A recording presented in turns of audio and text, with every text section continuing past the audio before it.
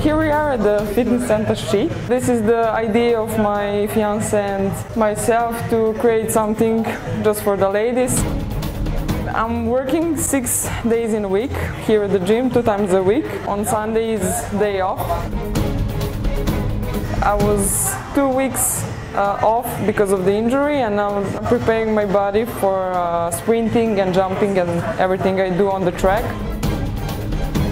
The main focus this year will be the World Outdoor Championship in London and I hope to see you in Lausanne. Bye!